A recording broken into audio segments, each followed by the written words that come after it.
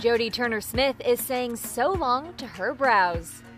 The actress teased a bold new look on her Instagram story as she shared a video of herself getting her eyebrows completely shaved off.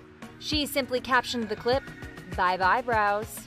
Jodie didn't offer extra details on whether the dramatic move is for an upcoming role, but she is known for her eye catching fashion and beauty choices.